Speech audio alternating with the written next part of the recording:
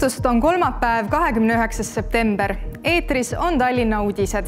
vaatame üle tänase saate teemad.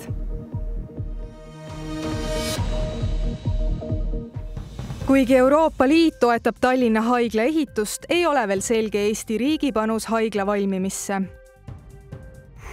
täna on toidu raiskamise vastu võitlemise päev. maailmas visatakse ära üks kolmandik toodetud toidust ja Eesti kauplustest läheb annetamisele vaid kaksteist protsenti müümata jäänud toidust. inimeste oskused ja võib-olla ka tiba laiskust on seal, et, et toit on nii anonüümne ja lihtsalt ei, ei süübita ja visatakse ära täna algab Tallinn Music Week, mis hõlmab uut muusikat tutvustavaid kontserte, üle linna ulatuvaid avastusretki ning muusikavaldkonna konverentse. muusikastiilidest on meil ähm, Eesti kooriühingust, koorimuusikast kuni klubimuusikani hallis ja rokkbändide ja kõige muuni välja, Tallinna linnahaigla saab olema nii suur, et hakkab teenindama patsiente üle Eesti. täna ütles Tallinna linnapea, et suurhaigla ja linnahall ehitatakse valmis niikuinii.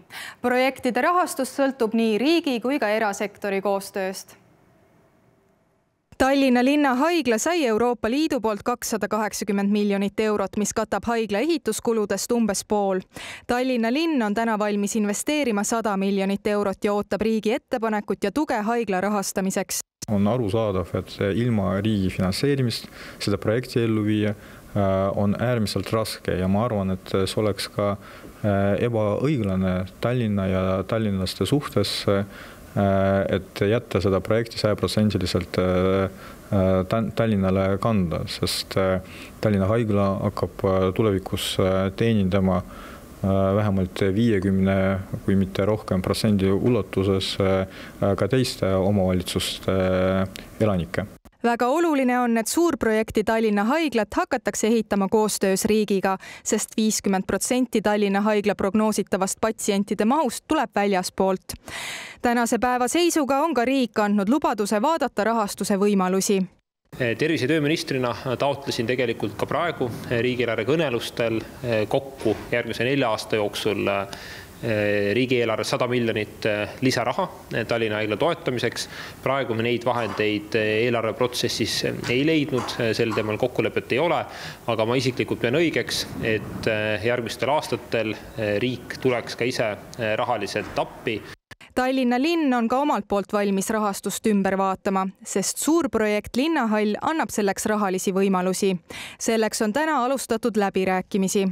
meil praegu käib paralleelselt äh, ühe teise suure projekti realiseerimine, jutt on linnahallist ja siin on ka ette nähtud vahendeid äh, umbes sada nelikümmend miljonit ja kuna praegu käib ka turu-uuring Äh, mis loodetavasti lubab meile leida ka äh, erapartneri, äh, siis me saame eraldada täiendavalt kokku hoitud vahendeid ka Tallinna Haigla realiseerimiseks, et ehk siis kuni sada nelikümmend miljonit. Tallinna haigla rajatakse riigi ja linna koostöös, mille aluseks on kahe tuhande üheksateistkümnenda aasta kaheksateistkümnendal veebruaril allkirjastatud riigi ja Tallinna linna koostöölepe plaan on alustada Tallinna Haigla uue hoone ehitusega kahe tuhande kahekümne kolmandal aastal. Tallinna Paekaare lasteaed avas täna pidulikult keelelinnaku. õppimiseks loodud tänavad ja peatused on inspireeritud Eesti kirjandustegelastest nagu Krõll, Muhv, Kingpool ja Sammalhabe. eraldi on lastele veel ka Lasnamäe linnaosa peatused. nii, väga hea, kes on järgmine buss? on meil vabatahtlikke? Väga hea. nii, ja siin me õpime tegusõna tormama, hüppama, kargama. niimoodi näeb välja üks Paekaare lasteaia keeletund siin on eestikeelseid rühmi üheksa ja venekeelseid kolm. Eestikeelsetes rühmades on aga vene koduse keelega lapsi veidi üle poole. Eestikeelsetes rühmades see üheksa rühma on venekeelseid lapsi umbes viiskümmend viis protsenti nii et eesti keele õpet, õpe on siin väga terav küsimus ja eelmine aasta avati siin esimene eksperimentaalrühm. see tähendab seda, et on eesti keele rühm, aga kõik lapsed on seal koduse vene keelega põhimõte on lihtne, mänguliselt ja igaühe jaoks erineva lähenemisega keel selgeks õpetada. Nendele lastele, kes ei ole koleerilise temperamendiga, kes ei taha kõiki uusi asju teha väga ruttu, sest nad tahavad mõtiskleda, kes tahavad rahulikult olla. Nende laste jaoks, kelle jaoks pilt on tähtsam kui sõna, selliseid lapsi on väga palju ja tema peab nägema keelt eelkõige pildis ja alles siis tähtedest moodustunud sõnas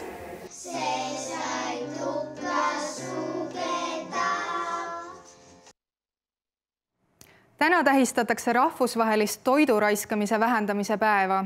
ka Tallinnas oli sellele päevale pühendatud rohkelt üritusi, sest teadlik säästmine ka toitumisel on oluline osa meie igapäevatoimingutest. kui palju aga mõtleme me sellele, kui toitu prügikasti viskame igal aastal läheb maailmas toodetud toidust üks kolmandik raisku ehk prügikasti, samas kasvab inimeste arv, kellel on toidust puudus. toidujäätmete teke ja toidu raiskamine on aktuaalsed ka Eestis. maailmas läheb nelikümmend protsenti toit, mis meil on, läheb raisku muidugi põllumajandussektor on seal ka sees ja seda teeb kümme protsenti, kõik maailma kasvuhoonegaasid on pärit seda toidu raiskamine ja, ja see on õudne ja, ja see on, see on lihtsalt liiga palju. toidupank näitas täna, kuidas päästetud toidust saab suurepäraseid lõuna, aga miks ka mitte õhtusööke korraldada. valmistasime sellest, mida Toidupank meile tõi teisipäeva õhtul üheksa ajal vuras kaubik ette ja siis hakkasime täna hommikul tegema sellest kraamist. kas on kuidagi teistmoodi ka teha sellisest päästetud toidust nüüd äh, selline väga vahva toit? jaa, kindlasti on selles suhtes minul kui kokal on, on lihtne teha kapi uks lahti lüüa ja, ja välja mõelda, mis, mis teha, ma saan aru, selle, see ongi suur probleem, miks meil toitu päris palju läheb hukka, on see, et inimeste oskused ja võib-olla ka tibalaiskust on seal et, et toit on nii anonüümne ja lihtsalt ei, ei süübita ja visatakse ära. see on mõnus väljakutse, et äh, lööd kaubiku ukse lahti ja vaatad, mis teha annab. Eestis on pea kolmsada tuhat absoluutses ja suhtelises vaesuses elavat inimest, kes vajavad toiduabi.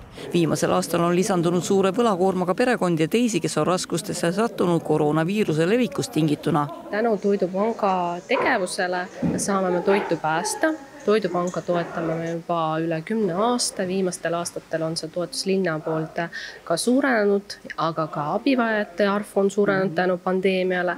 et äh, kohati on see isegi kahekordistunud, et, äh, et raskematel kuudel pandeemia ajal oli ligi viis tuhat inimest, äh, kes vajasid toiduabi nädalas Tallinnas täna algab traditsiooniline Tallinn Music Week, mille jooksul on võimalik osa saada saja viiekümne artisti kontserdist nii Eestist kui mujalt maailmast. lisaks sellele on programmis ka mitmekesine linnafestival, mis paneb punkti Tallinna keskkonnasõbraliku liikumise kuule pika traditsiooniga Tallinn Music Week üritused toimuvad peamiselt Põhja-Tallinnas ja vanalinna ümbruses. seega on võimalik nende vahelt hõlpsalt liikuda nii jala kui rattaga lisaks paljudele kontsertidele saab osaleda ka konverentsidel ja linnafestivalil. linnafestivali programmi juba traditsiooniliselt kuuluvad meil tasuta vestlused, linnalava kontserdid, restoranide programm, kunstiprogramm ja, ja palju veel aga võib-olla üks kõige ka olemasolevalt pildilt nähtavam on meie selja taga olev Eesti Arhitektide Liidu sajandaks juubeliks korraldatav kunsti Äh, festival Pööra, mida Arhitektide Liit korraldab ja, ja meil on väga hea meel teha nendega koostööd, tuua siis muusikat installatsioonide juurde Vabaduse väljakul, äh, Balti jaamas ja Eesti kaasaegse kunstimuuseumi juures. linnafestival avati juba täna installatsiooni Pööre avamise, kontserdi ja linnapea kandidaatide debatiga. Vabaduse väljakule püstitatud rohepöörde teemaline installatsioon Mõttepaus on kahe tuhande üheksasaja üheksakümne üheksast puitpakust koosnev ning annab võimaluse peatuda ning mõelda puude käekäigule mõttepausi installatsiooni idee on siis puidu eluea tsükli pikendamine. et äh, kui tavaliselt või tihti läheb puit äh, metsast otsa ahju, siis äh, läbi selle väikse pausi saame me natuke mõtiskleda selle üle, et kas see on päris õige võib-olla teerada. Tallinn Music Week kestab pühapäevani ning selle jooksul on võimalik osa võtta nii linnafestivalist, konverentsidest kui paljudest erinevatest kontserditest koorimuusikast kuni klubimuusikani välja. edasise kavaga saab tutvuda kodulehel www.tmv.ee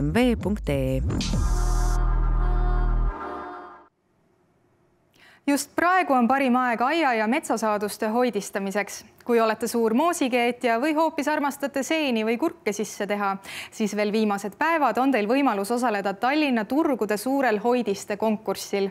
mida selleks teha, kuulete järgnevas loos Tallinna Turud kuulutas välja hoidiste konkursi, mille tärminini on muideks jäänud kõigest kaks päeva. Läheme uurime, kas inimesed on valmis ka sellisel konkursil osalema. Kas teie, proua, oleksite valmis osalema? ei ole miks te ei armasta aiasaadusi sisse Pole teha? aega. Pole üldse aega, ostate kõik poest? ei osta poest, turult ostan enamuse. kindlasti mitte, ma olen laisk inimene, ma ei kavatse midagi, ma kõik vajalikud asjad lähen ostan näiteks Selverist. turult ka mitte ei osta? hoidised ei osta jah. Ma vaatasin siin Nõmme turul ringi, proua, te ei taha üldse hoidviste konkursil osaleda, aga teil ikka mingid purgid on toodud, ma vaatan. ja meil on juba omajagu toodud ja natuke on veel aega, et tuua ka. no mida inimesed kõige meelsamini toovad, ma vaatan, siin on peedisalat, kõrvitsat näen, aga moosi nagu polegi on mõned moosid ka, et äh, see aasta jah, kuidagi äh, tundub, et rohkem tuuakse kurki ja kõrvitsat ja erinevaid äh, kastmeid, letšosid. tundub, et magusaid hoidiseid on vähem ja eelmine aasta näiteks oli vastupidi. no aga huvi ikka selliste konkursside vastu on? ja, et huvi on, rohkem just osalejateks on meil pigem nooremad inimesed, et võib-olla ka sellepärast hetkel prouad ei haakunud kohe aga mis peab tegema, et veel sellise konkursiga osaleda, et ma tean, et vist paar päeva on jäänud ainult? meil tähtaeg on jah, reedel, esimesel oktoobril, aga tegelikult äh, saab veel tuua nädalavahetusel ka, kui nüüd keegi ei jõua reedeks, et äh, hindamine on meil viiendal oktoobril äh, kui tuleb žürii kokku ja osalemiseks ei olegi muud vaja teha, kui oma hoidis tuua meile. hoidis siis muidugi peab olema valmistatud kodumaisest toorainest ja varustatud inimese andmetega, et me saame võitjaga ühendust võtta ja muud ei olegi vaja. ja nüüd on aeg vaadata üle kolme järgneva päeva ilmaprognoos Tallinnas. ööl vastu neljapäeva on pilves, ent sajuta ilm, õhutemperatuur on kuus kuni seitse kraadi. päeval on enamasti pilvine, kuid püsib sajuta, õhutemperatuur on üheksa kuni kümme kraadi õhtul on pilvine, kuid sajutav, puhub kagutuul viis kuni kaheksa meetrit sekundis. õhutemperatuur on kaheksa kuni üheksa kraadi. reede öösel on pilves ilm, sajab veidi vihma. õhutemperatuur on kuus kuni kaheksa kraadi. enne lõuna on pilvisem, pärastlõuna selgemate laikudega. ilm on olulise sajuta, õhutemperatuur on kaksteist kuni neliteist kraadi ööl vastu laupäeva on vähese pilvisusega sajuta ilm, puhub kagutuul viis kuni kaheksa, pärast keskööd puhanguti kaksteist meetrit sekundis. õhutemperatuur on viis kuni seitse kraadi. päeval on vahelduva pilvisusega olulise sajuta ilm ja õhutemperatuur on kaksteist kuni viisteist kraadi. tänaseks on meie uudistesaade lõppenud, kohtume teiega taas homme samal ajal. ilusat õhtut